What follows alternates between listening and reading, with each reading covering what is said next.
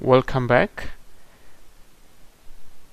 This presentation brought to you by watchmath.com and we still discuss with section 1.1 from Stewart Calculus book 6th edition early transcendental. Now we'll we're gonna talk about how to sketch the graph of a piecewise function this is one example of a piecewise function and we would like to sketch the graph of that function. Okay, so first let us try to understand the definition of the function itself of this function.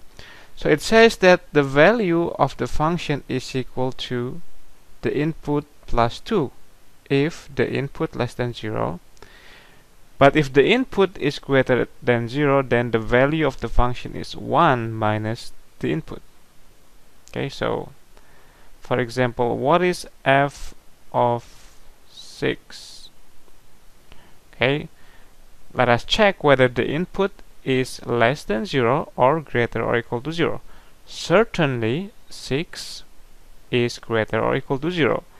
Therefore, according to the prescription, it is equal to 1 minus the input. Now the input is 6, so equals negative 5. Okay, let's see another example. What is f of negative 2? Negative 2 is less than 0. Whenever the input is less than 0, it says that the value of the function is the input plus 2. The input is negative 2 plus 2 is equal to 0 okay so that's just some review about how we compute the value of a piecewise function. Okay now let us see how to sketch the graph of f of x. Notice that in each of these so x plus 2 is a linear function and also 1 minus x is a linear function. And we know that the graph of a linear function is a straight line. Okay, so let us draw the x and y axis. So, okay, suppose this is the x axis and that's the y axis. Okay, this is x plus 2 and 1 minus x are linear function and therefore the graph of both of them are a straight line okay? But now the function is equal to this not for all x only for x less than 0 okay? So first of all just ignore this restriction. Let us just draw the graph of x plus 2 and remember in order to sketch the graph of line, it is enough to find two points on the graph. So if x equal to 0, then y will be equal to 0 plus 2. It tells us that 0 comma 2 is on the line x plus 2. Let me choose another color. Okay, so 1, 2.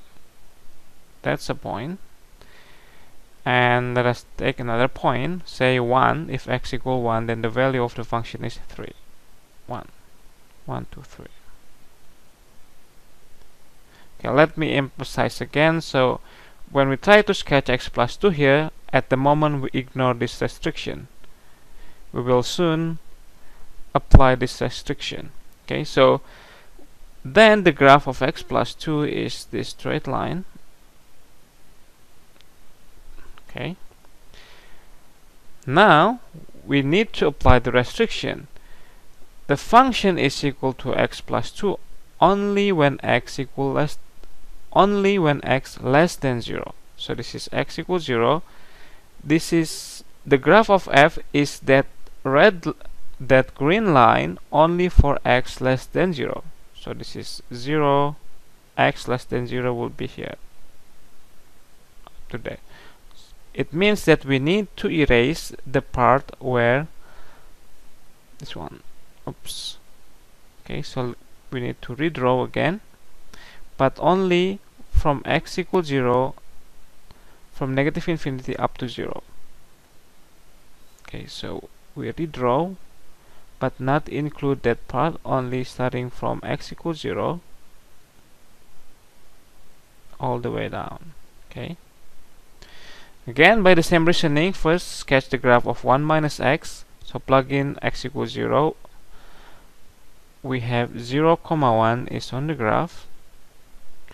And plug in x equal 1 the value of the function is 0 so we have that one. So we know that the line is something like that. But f of x is equal to 1 minus x only for x greater or equal to 0 so we need to erase the part this part the part where x is less than 0 so we only take that part and remove that part okay? So let us try to redraw. So if we redraw only draw this part that part. And okay. Be careful here. This is x less than 0 so 0 itself is not including for that point but it is included here. Okay. So let me yeah. So this is a hollow here but this is a full point there. so that's the graph of f of x okay now let us look at the problem number 43 so we have f of x a piecewise function defined as x plus 2 if it is less or equal to negative 1 and it is x squared if x greater than 1 and we have seen the trick so the trick just sketch the graph of x plus 2 ignore first the restriction. So to draw graph of x plus 2 we need two points so 0 comma 2 is on that line that point. And also say if we plug in negative 1 we have negative 1 comma 1 okay? So first just sketch a straight line passing through that two point.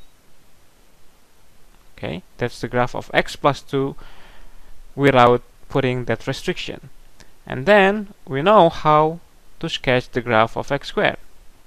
x squared is something like this so this is also x squared passing through 1 comma 1 so parabola like that.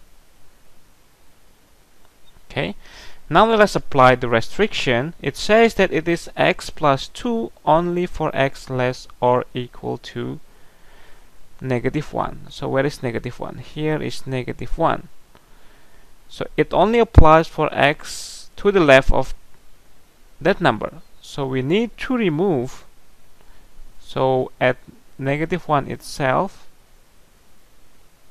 so at that point itself is full I mean full point.